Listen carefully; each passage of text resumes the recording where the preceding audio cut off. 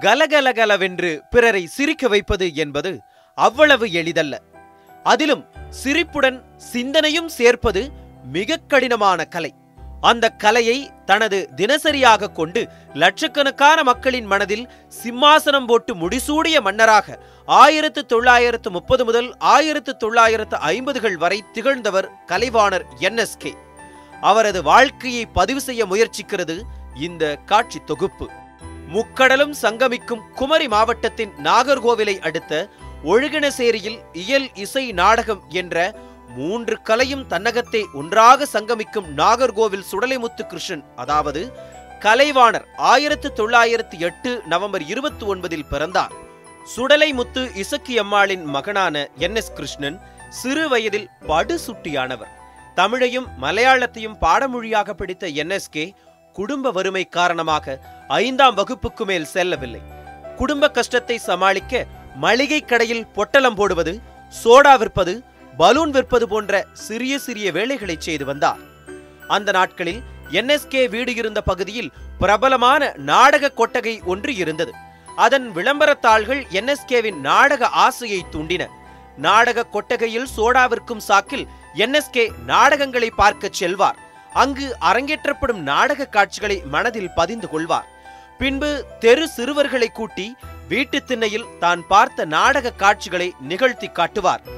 என். S. கிருஷ்ணனின் நாடக ஆர்வத்தை கவனித்த அவரது தந்தை சுடலைமுத்து பல எதிர்ப்புகளை தாண்டி ஆயிரத்து தொள்ளாயிரத்து இருபத்தி நான்கில் என். எஸ். கிருஷ்ணனை அந்த நாட்களில் நாகர்கோவிலில் சிறுவர்களை கொண்டு நாடகங்களை நடத்தி வந்த ஒரு பாய்ஸ் கம்பெனியில் சேர்த்து விட்டார்.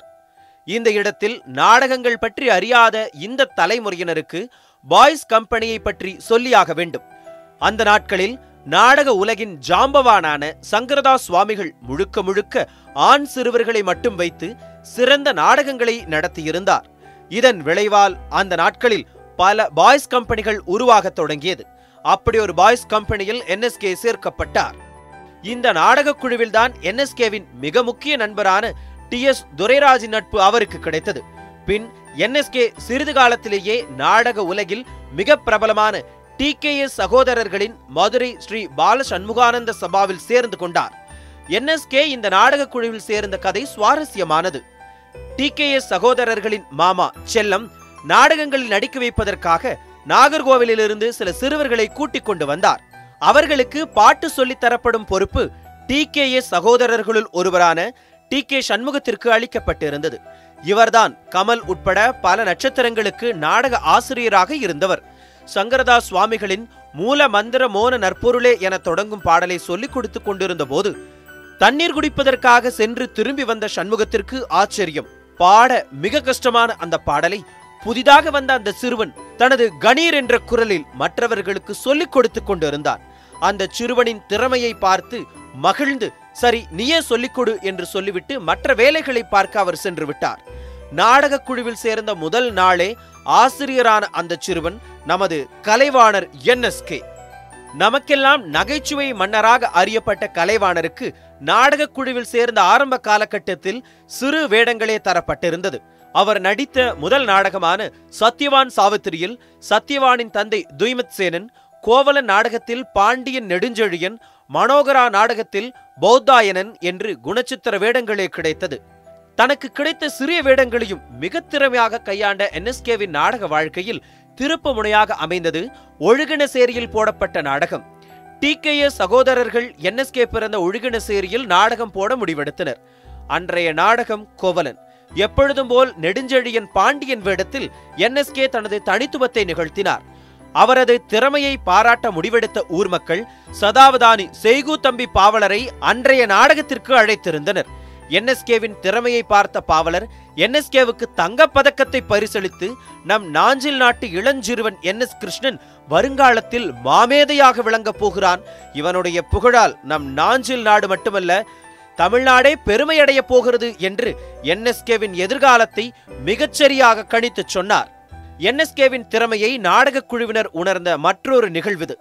எஸ் குழுவினரின் வெற்றி நாடகமான மனோகராவை காரைக்குடியில் நடத்தி கொண்டிருந்த காலம் அது. அப்படி ஒரு நாளில் டி கே எஸ் குழுவினர் மனோகரா நாடகத்திற்கு ஆயத்தமாகிக் கொண்டிருந்தார்கள். மனோகராவில் பிரதான நகைச்சுவை பாத்திரத்தில் நடிக்க வேண்டிய எம் ஆர் சாமிநாதன் யாரிடமும் சொல்லிக் கொள்ளாமல் மாயமானார். இப்படி அவர் அடிக்கடி செய்வது வழக்கம் என்றாலும் அன்றைய நாள் மனோகரா நாடகத்திற்கு நேரமாகிக் கொண்டிருந்ததால் அந்த பாத்திரத்தை யாருக்கு கொடுப்பதென்று டி கே எஸ் குழு திண்டாடியது. அப்போது டி கே எஸ் சகோதரர்களிடம் டி கே சண்முகம் அந்த பிரதான நகைச்சுவை பாத்திரமான வசந்தனாக நடிப்பதற்கு நம்மிடம் சரியான ஆள் இருக்கிறான். ஏற்கனவே அந்த பாத்திரத்திற்கான வசனங்களில் அவன் பயிற்சி எடுத்திருக்கிறான் என்று கையை என்எஸ்கே இருக்கும் பக்கம் திருப்பினார். தான் ஏற்கனவே அந்த பாத்திரத்தில் பயிற்சி எடுத்திருப்பதால் துணிந்து அந்த நகைச்சுவை பாத்திரத்தில் தனது புதுவித நடிப்பால் நடித்து பலரிடம் பாராட்டு பெற்றார் என்எஸ்கே. அன்றிலிருந்து டி கே எஸ் குழுவின் பிரதான நகைச்சுவை பாத்திரங்கள் அனைத்தும் கலைவாணரிடமே கொடுக்கப்பட்டது. இப்படியாக டி கே எஸ் குழுவில் முக்கிய இடத்திற்கு நகர்ந்த என்எஸ்கே அதற்கேற்ப பல திறமைகளை வளர்த்து கொண்டார்.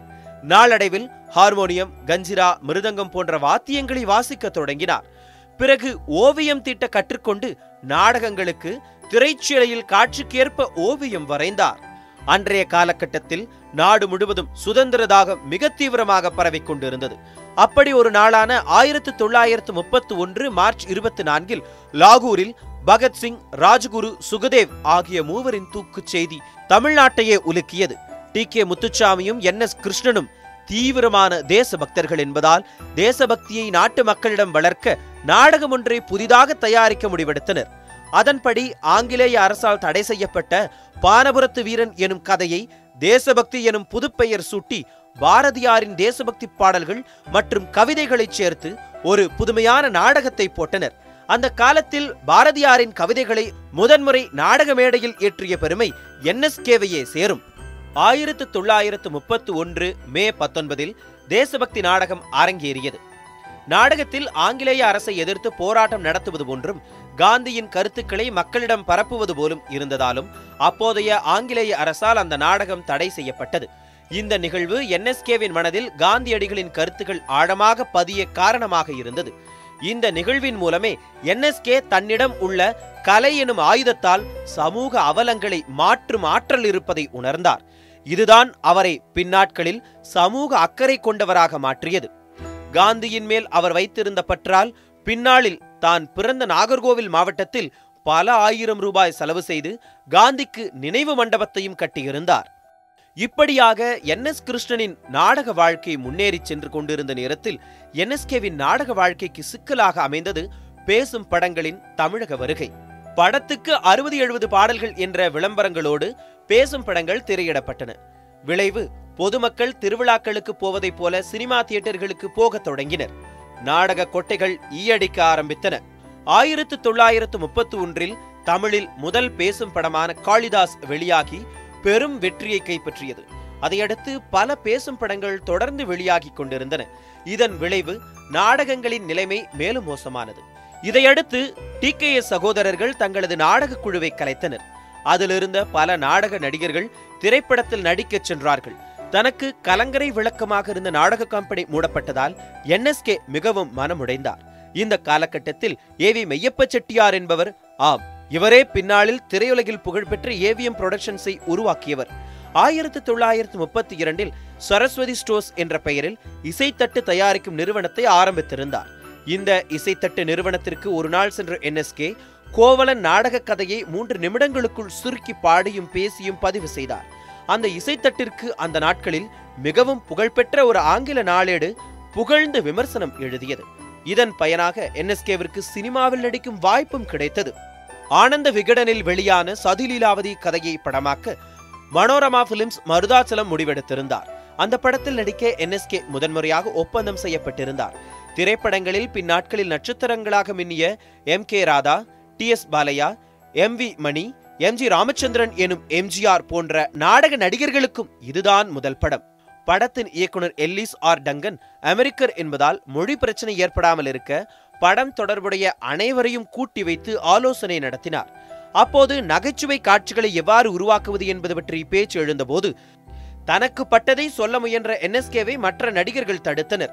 இதனை கவனித்த இயக்குனர் எலிஸ் என்எஸ்கேவுக்கு பேச வாய்ப்பளித்தார். என்எஸ்கே சொன்னதை மொழிபெயர்ப்பாளர் மூலம் புரிந்து கொண்ட இயக்குனர் எலிஸ் இந்த படத்தில் இவர் நடிக்கும் நகைச்சுவை காட்சிகளை இவர் சொல்வதுபடியே எடுப்போம் என்று மற்ற நடிகர்களுக்கு அதிர்ச்சி அளித்தார். நகைச்சுவை கலை மட்டுமல்ல தனக்கு தேவையானதை தானே கேட்டு பெற்றுக்கொள்ளும் கலையையும் என்எஸ்கே பெற்றிருந்தார். இந்த பட உருவாக்கத்தின் போதுதான் என்எஸ்கேவும் எம்ஜிஆரும் பழகும் வாய்ப்பு அமைந்தது. எம்ஜிஆரை உரிமையுடன் கிண்டல் செய்யவும் பொறுப்புடன் அறிவுரை சொல்லும் அளவிற்கும் அந்த பழக்கம் சென்றது. எம்ஜிஆரை பற்றி நாம் சொல்லும் போதெல்லாம் அவரது கொடை உள்ளத்தை பற்றி நிச்சயமாக பேசுவோம். உண்மையில் எம்ஜிஆரின் இந்த குணத்திற்கு வாத்தியாராக இருந்தது என்எஸ்கே. அவர் மற்றவர்களுக்கு எந்த எதிர்பார்ப்பும் இல்லாமல் செய்த செயல்களே எம்ஜிஆரை அந்த பக்கம் திருப்பியது என்று பலமுறை எம்ஜிஆரே குறிப்பிட்டிருக்கிறார். சதிலீலாவதி படப்பிடிப்பு முடிவடையும் தருவாயில் என்எஸ்கேவுக்கு பரபரப்பான தகவல் வந்து சேர்கிறது. திருப்பூர் சண்முகானந்தா டாக்கிஸ் எனும் திரைப்பட நிறுவனம் எஸ் நாடகக் குழுவின் புகழ்பெற்ற சமூக நாடகமான மேனகாவை திரைப்படமாக எடுக்க முடிவு செய்திருப்பதாகவும் அதில் வரும் சாமா ஐயர் வேடம் நீதான் செய்ய வேண்டும் என அனைவரும் விரும்புவதாகவும் டிகேஎஸ் சகோதரர்களிடமிருந்து அந்த தகவல் வருகிறது. அதுபோலவே என்எஸ்கேவும் மேனகா படப்பிடிப்பிற்கு வந்து சேர்கிறார். படத்தின் இயக்குனர் ராஜா சாண்டோ. இவர் கண்டிப்பான இயக்குனர் என்பது அப்போது சினிமா துறையில் இருந்த எல்லோருக்கும் தெரியும். ஆனால் அவரிடமும் நமது நகைச்சுவை மன்னன் என்எஸ்கே அவருக்கான நகைச்சுவை பகுதிகளை அவருக்கு விருப்பமான முறையில் எடுக்க அனுமதி பெற்றார். படம் இயக்குனர் நினைத்ததை விட நன்றாக வந்திருந்தது. என்எஸ்கே முதலில் நடித்தது சதிலீலாவதியாக இருந்தாலும் முதலில் வெளியானது என்னவோ மேனகா தான். ஆயிரத்து தொள்ளாயிரத்து முப்பத்தி ஐந்தில் மேனகா வெளியாகி பெரும் வெற்றி பெற்றது. குறிப்பாக என் எஸ் கிருஷ்ணன் ஏற்று நடித்த சாமா ஐயர் கதாபாத்திரம் அனைவரையும் கவர்ந்தது. அதுபோலவே ஆயிரத்து தொள்ளாயிரத்து முப்பத்தி ஆறில் சதிலீலாவதி வெளியாகி என்எஸ்கேவின் நகைச்சுவை ஆற்றல் பலராலும் பாராட்டப்பட்டது.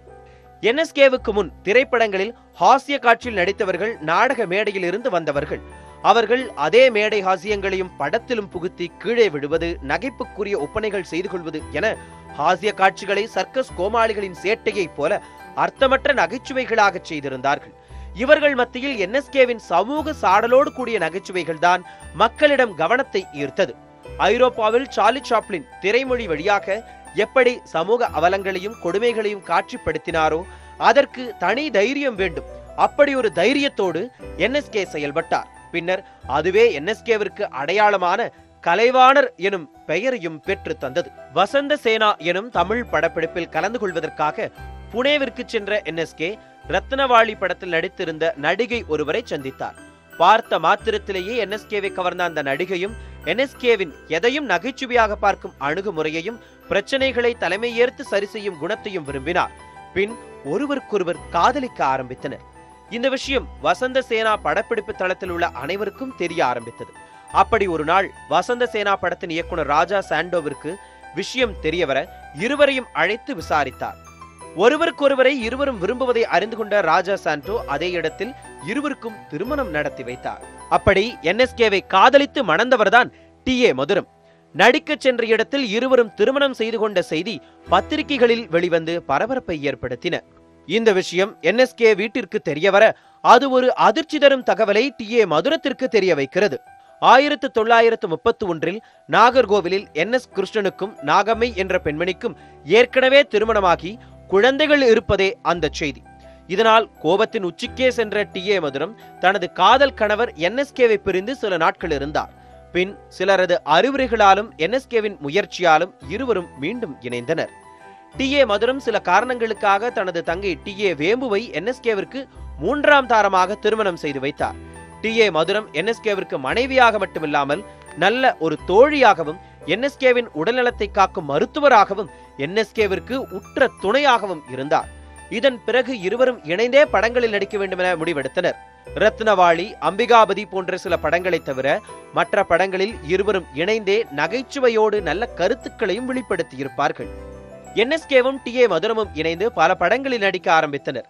என்எஸ்கே மதுரம் ஹாசிய காட்சிகளுக்கு திரைத்துறையில் மிகுந்த வரவேற்பு இருந்தது. அவர்கள் இருவரும் இருந்தால் படம் நிச்சயம் வெற்றி பெறும் என்ற நிலைக்கு வந்தனர். திரைப்பட தயாரிப்பாளர்கள் என்எஸ்கேவையும் மதுரத்தையும் மொய்க்கத் தொடங்கினர். என்எஸ்கே டி ஏ மதுரம் மற்றும் தனது நாடக நடிகர்களை சேர்த்துக்கொண்டு படக்கதைக்கு ஏற்ப ஹாசிய காட்சிகளை அருமையாக அமைத்து ஓடாத பல படங்களையும் வியாபாரமாகாத பல படங்களையும் ஓடவும் விற்கவும் வைத்தனர். என்எஸ்கேவின் படங்கள் தொடர்ந்து வெற்றியை ருசித்துக் கொண்டிருக்க என்எஸ்கேவின் பொருளாதார நிலைமையும் உயரத் தொடங்கியது. அந்த கொடை உள்ளம் கொண்ட கலைஞன் தனக்காக எதையும் வைத்துக் கொள்ளாமல் தன்னிடம் உதவி கேட்டு வரும் மக்களுக்கு வாரி இறைத்தார். இதை பற்றி அவர் இவ்வாறு கூறுகிறார். நான் மக்களால் உயர்ந்தவன். அதை அவர்களுக்கு திருப்பிக் கொடுப்பதுதான் நியாயம்.